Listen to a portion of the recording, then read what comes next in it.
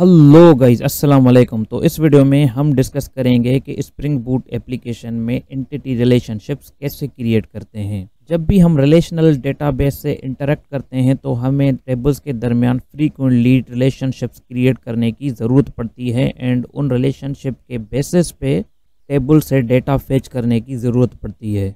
तो जब हमें पता होगा कि स्प्रिंग बूट में जेपीए के थ्रू रिलेशनशिप्स कैसे क्रिएट किए जाते हैं एंड उनको कैसे मैनेज किया जा सकता है तो हम डेटा को इफ़िशेंटली प्रोसेस कर सकेंगे डेटा को सेव कर सकेंगे एंड डेटा को फेच कर सकेंगे। तो इस चीज़ को अंडरस्टैंड करेंगे, एक एग्ज़ाम्पल से तो जाएँगे हम अपने इंटेलिजे की तरफ़। यहाँ पे मेरे पास कुछ क्लासेस ऑलरेडी अवेलेबल हैं, जिसमें सबसे पहले मेरे पास आ जाती हैं कुछ एंटिटीज़ तो सबसे पहले मेरे पास है नेशनल आईडी इंटिटी जिसके अंदर मैंने तीन कॉलम्स क्रिएट किए हैं ID nationality and national number उसके अलावा मैंने इंटिटी के ऊपर डेटा की एनोटेशन लगाई है फ्रॉम लोम्बोक सेकंड मेरे पास एंटिटी है यूज़र इसके अंदर मैंने तीन कॉलम्स बनाए हैं ID email and password and again the same annotation third मेरे पास टेबल है यूज़र ऑर्डर इसके अंदर मैंने दो कॉलम्स बनाए हैं आईडी एंड ऑर्डर डेट इसके अलावा मैंने इन तीनों एंटिटीज़ की रिपोजिटरीज क्रिएट किए हैं एंड इन तीनों रिपोजिटरीज को अपने मेन कंट्रोलर में ऑटो वायर किया है।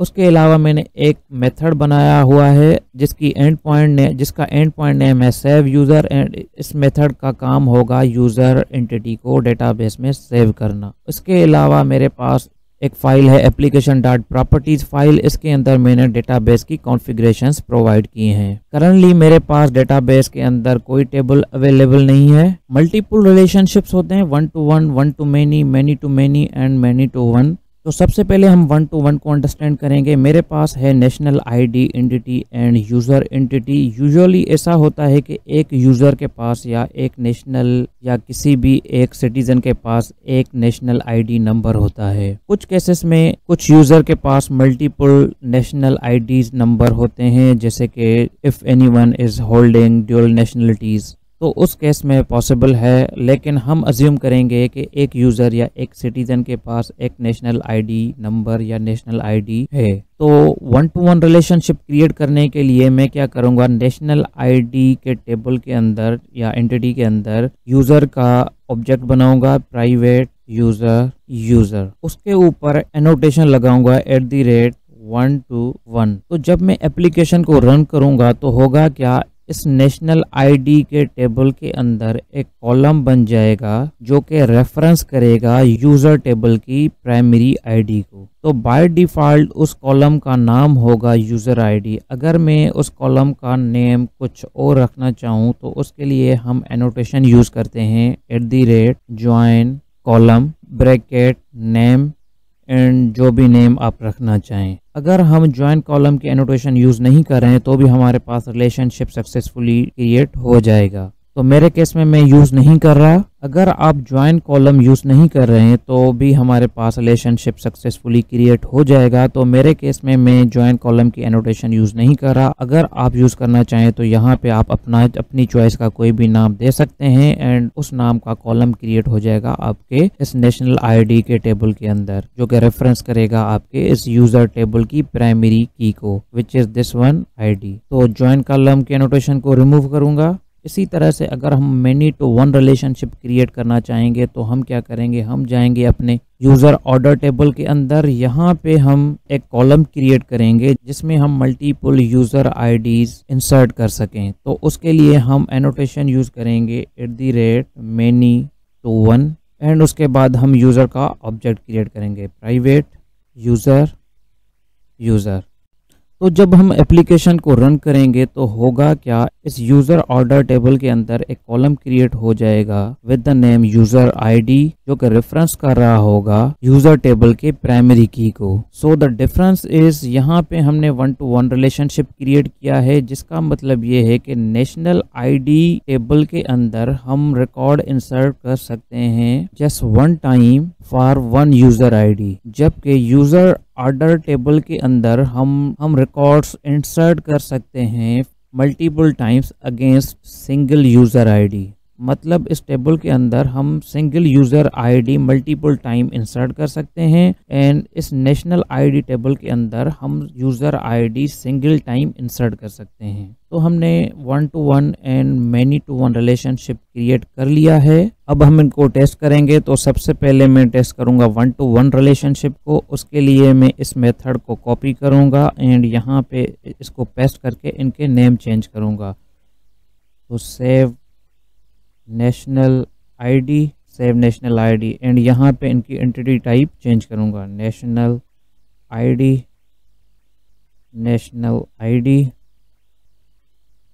national ID यहाँ पे मैं नेशनल आईडी की रिपोजिटरी का ऑब्जेक्ट कॉल करूँगा. तो रिपोजिटरी का ऑब्जेक्ट का नाम है हमारे पास एड्रेस रिपोजिटरी तो इसको रीनेम करता हूँ. नेशनल रिपो यहाँ पे मैं नेशनल रिपो को कॉल करके इसके सेव मेथड को कॉल करूँगा एंड नेशनल आईडी की एंटिटी पास करूँगा। एप्लीकेशन को रन करेंगे। जब तक एप्लीकेशन स्टार्ट हो जाए, तब तक मैं यहाँ, मैं पोस्टमैन में जाकर नेशनल आईडी कार्ड की बॉडी क्रिएट करूँगा। यहाँ पे मेथड नेम चेंज करेंगे पोस्ट यहाँ से localhost zero eight copy करेंगे। एंड पॉइंट का नेम यहाँ से हम कॉपी करेंगे एंड यहाँ पे पेस्ट करेंगे। बॉडी के अंदर जाएँगे रॉ पे क्लिक करेंगे जेसन के अंदर हम बॉडी क्रिएट करेंगे। सबसे पहले हमारे पास प्रॉपर्टी है नेशनल आईडी कार्ड की नेशनलिटी विच इज़ पाकिस्तान। उसके बाद है मेरे पास नेशनल आईडी नंबर तो मेरी नेशनल आईडी नंबर है one two three one two three one two three उसके बाद मेरे पास है यहाँ पर यूज़र तो मैं यूज़र पास करूँगा।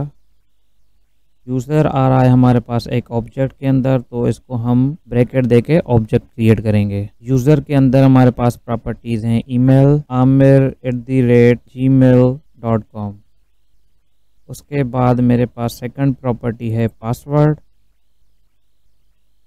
एंड पासवर्ड है मेरे पास one two three one two three अब अगर इसको मैं सेव करूँगा तो देखें कि मेरे पास क्या रिज़ल्ट आ रहा है। सेंड तो मेरे पास एरर आया है, जो कि मुझे कह रहा है कि object reference is in unsave transient instance save the transient instance before flashing national ID dot user मैं क्या कर रहा हूँ? नेशनल आईडी का मैंने ऑब्जेक्ट क्रिएट किया है, उस ऑब्जेक्ट के अंदर मैंने यूज़र का ऑब्जेक्ट क्रिएट कर रहा है। उसके बाद मैं नेशनल आईडी की एंटिटी को सेव कर रहा हूँ, जिसके अंदर मेरे पास ट्रांसिएंट यूज़र ऑब्जेक्ट पड़ा हुआ है। ट्रांसिएंट का मतलब वो ऑब्जेक्ट जो कि आपने एंटिटी जो कि आपने अपने टेबल में सेव नहीं किया है। इस प्रॉब्लम इस एरर को सॉल्व करने के लिए मेरे पास दो ऑप्शन है। सबसे पहला मेरे पास ऑप्शन ये है कि मैं यहाँ नेशनल आईडी के ऑब्जेक्ट से यूज़र गेट करूँ एंड उस यूज़र को अपने यूज़र रिपोजिटरी में सेव करवाऊँ। जब मैं इसको सेव करवाऊँगा तो मेरे पास जो यूज़र रिटर्न होगा, वो होगा अनट्रांजिएंट स्टेट में, जिसका मतलब ये है कि यूज़र के पास प्राइमरी की अवेलेबल होगी। जब यूज़र के पास प्राइमरी की अवेलेबल होगी तो हम अपनी नेशनल आईडी के ऑब्जेक्ट को अपडेट करेंगे, उसको updated save untransient user provide करेंगे। उसके बाद अगर इसको हम सेव करवाएँगे तो ये हमारे पास सक्सेसफुली सेव हो जाएगा। दूसरा हमारे पास ऑप्शन है कि हम जाएँ नेशनल आईडी की एंटिटी के पास। यहाँ पे हम इसको कहें कैसकेट ऑल इसका मतलब ये होगा कि इस एंटिटी के ऊपर हम जो भी ऑपरेशन परफॉर्म करें फॉर एग्ज़ाम्पल अगर हम सेव की ऑपरेशन परफॉर्म कर रहे हैं और इसके पास यूज़र भी अवेलेबल है तो वो सेव की ऑपरेशन यूज़र के ऑब्जेक्ट पर भी परफॉर्म हो जाए। तो मैं यहाँ से इस कैसकेड की प्रॉपर्टी को फॉलो करूँगा एंड यहाँ पे जो मैंने कोड टाइप किया है, इसको रिमूव करूँगा। तो मेरे पास जो नेशनल आईडी का ऑब्जेक्ट आ रहा है, उसको मैं एज एट इज़ सेव करवाऊँगा। अब मैं एप्लीकेशन को रीरन करूँगा।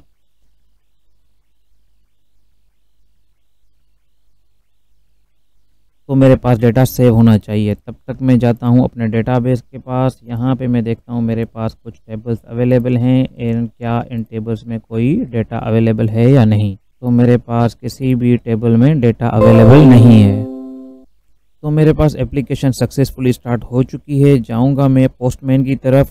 सेम ऑब्जेक्ट को मैं सेव करवाऊँगा तो उसके लिए सेंड पे क्लिक करूँगा तो हम देखेंगे कि हमारे पास डेटाबेस में डेटा सेव हुआ है कि नहीं। तो आप देख सकते हैं यहाँ रिटर्न में तो मेरे पास डेटाबेस में डेटा सेव हुआ है। नेशनलिटी के ऑब्जेक्ट की मेरे पास आईडी आ रही है टू एंड यूज़र की आईडी आ रही है मेरे पास वन डेटाबेस से वेरीफाई करेंगे तो मेरे पास नेशनल की टेबल में एक रिकॉर्ड आया है, जिसके यूज़र आईडी है वन एंड यूज़र के हम टेबल में जाएँगे तो हमारे पास है यूज़र जिसकी आईडी है वन अब ये है वन टू वन रिलेशन अगर इस टेबल में मैं एक और रिकॉर्ड इंसर्ट करूँगा, जिसकी अगेन यूज़र आईडी होगी वन तो ये मुझे रिकॉर्ड सेव करने नहीं देगा, क्योंकि इस टेबल का जो यूज़र टेबल के साथ रिलेशन है, वो है वन टू वन इसको हम यहाँ से चेक भी कर सकते हैं। तो आप देख सकते हैं इनका रिलेशन वन टू वन है। इस चीज़ को हम वेरीफाई भी करेंगे तो हम क्या करेंगे? हम इस बॉडी को यहाँ से कॉपी करेंगे एंड यहाँ पे इसको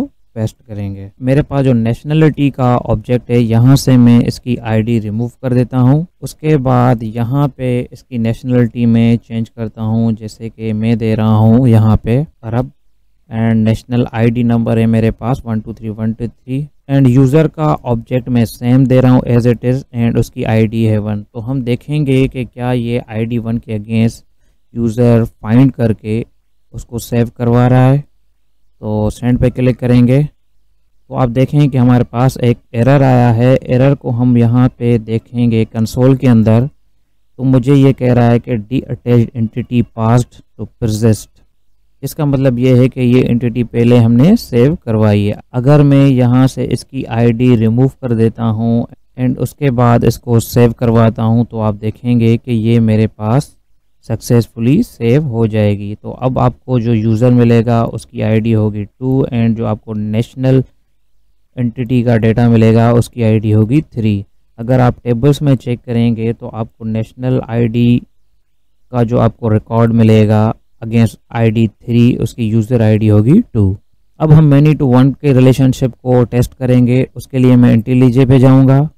यहाँ पे अगर मैं यूज़र ऑर्डर एंटिटी के पास जाऊँगा तो मेरे पास रिलेशनशिप है मैनी टू वन अब अगर मैं ऑर्डर के साथ साथ यूज़र का ऑब्जेक्ट भी सेव करूँगा तो मुझे यहाँ पे कैस्केड ऑल प्रोवाइड करना होगा। उसके बाद मैं मेन कंट्रोलर में आऊँगा। यहाँ पे सेव यूज़र के मेथड के अंदर मैं क्या करूँगा? यहाँ पे लिस्ट ऑफ़ ऑर्डर्स क्रिएट करूँगा।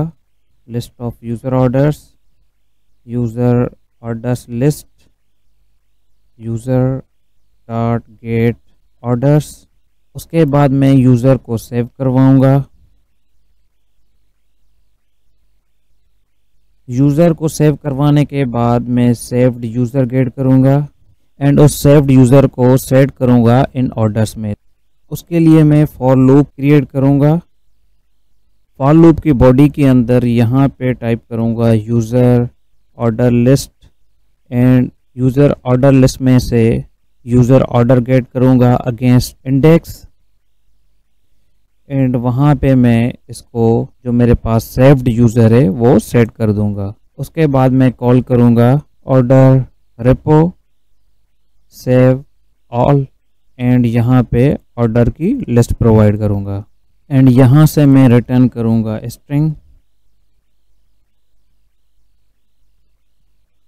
data saved successfully application को रन करेंगे।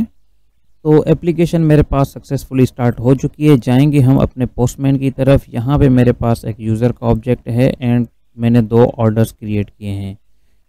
सेंड पे क्लिक करेंगे। तो आप देखेंगे कि मेरे पास मैसेज आ रहा है डेटा सेव्ड सक्सेसफुली हम डेटाबेस में जाएँगे, यहाँ से वेरीफाई करेंगे।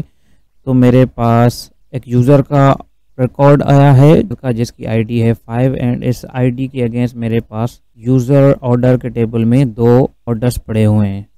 तो इस वीडियो में हमने डिस्कस किया कि one to one and one to many and many to one relationship कैसे क्रिएट करते हैं एंड उसके साथ साथ हमने डिस्कस किया कि one to one and one to many relationship में डिफरेंस क्या है? तो उम्मीद करता हूँ कि वीडियो आपको पसंद आई होगी। अगर वीडियो पसंद आई है तो वीडियो को लाइक शेयर एंड कमेंट करें। चैनल को लाजमी सब्सक्राइब करें। मिलते हैं नेक्स्ट ट्यूटोरियल में। तब तक के लिए टेक केयर खुदा हाफिज़।